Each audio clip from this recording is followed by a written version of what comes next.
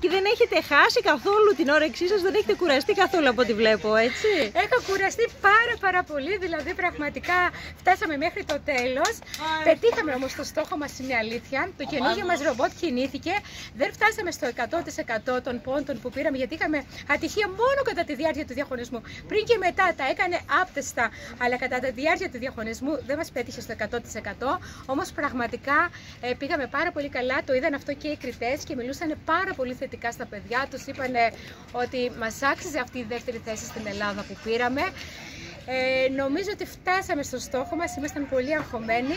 Ε, μας βοήθησαν βέβαια και οι, ε, γονείς εδώ που ερχόταν για συμπαράσταση, μας φέρναν νερά. Ε, από τον Σύλλογο Εστίασης μας στέλνανε πρωινό και φαγητό, οπότε αυτό έτσι μας ε, μαλάκωνε λιγάκι την κούραση. Νιώθατε ότι ήταν όλοι στο πλάι Όλοι ε; ήταν έτσι αλλιώς και το νιώθαμε και ήταν όλοι εδώ. Ε, τώρα σε λίγο περιμένουμε τα αποτελέσματα. Πάντα βάζουμε σαν στόχο ότι θα πάρουμε την, την τελευταία θέση, μόνο και μόνο για να μην απογοητευτούν τα παιδιά και στο Πανελλήνιο είχαμε πει να πάρουμε τη δεύτερη, αλλά εγώ εννοούσα από το τέλος, αλλά μας ήρθε από την αρχή. Ε, όμως έτσι αλλιώς έχουμε πετύχει γιατί υπάρχουν ε, ε, δύο ε, επιτυχίες μεγάλες στην ομάδα μας που αυτό ήταν το βασικότερο που θέλαμε να περάσουν τα παιδιά στην Εθνική Ομάδα Ελλάδας. Τώρα περνάμε στη δεύτερη φάση λοιπόν, είναι ο Δημήτρης και ο Μενέλαος εδώ. Ο Δημήτρης και ο Μενέλαος που είναι, έλατε να σας δούμε. Ε, πάμε τώρα για τη δεύτερη φάση για την Εθνική Ομάδα Ελλάδας και αυτό νομίζω είναι η τελειότερη επιτυχία που είχαμε.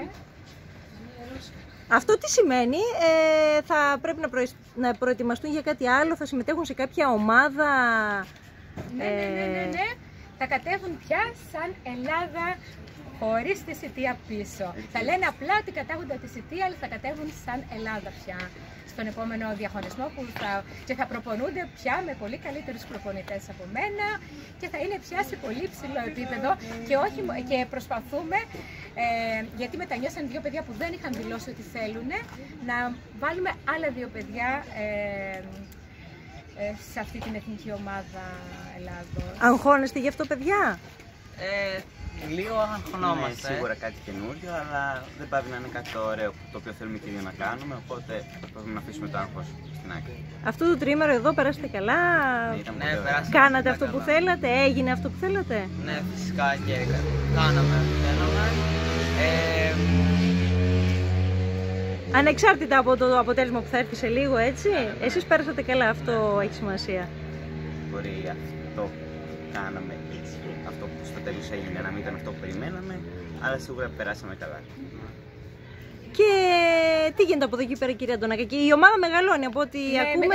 Υπάρχει πολύ και γι' αυτό θα κάνω πρώτη προβολή στην πρότασή μου θα πάει στο Δήμο κατευθείαν να το αναλάβει πια ο Δήμος. Εγώ ευχαρίστως θα βοηθήσω με όλη μου τη δύναμη εκεί και άφιλο κερδός μάλιστα.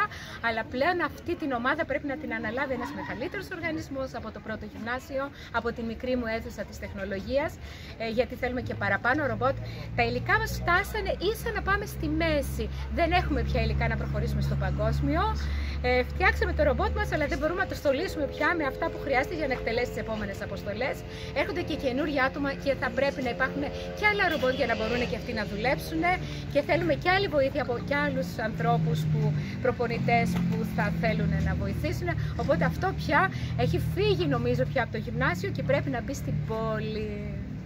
Οπότε να κατεβαίνουμε σαν σιτία πια καθαρά, όχι σαν πρώτο γυμνάσιο, αλλά σαν πόλη σιτίας που υποστηρίζει την ομάδα ρομποτικής που ξεκίνησε από το πρώτο γυμνάσιο και έχει υπέροχα παιδιά.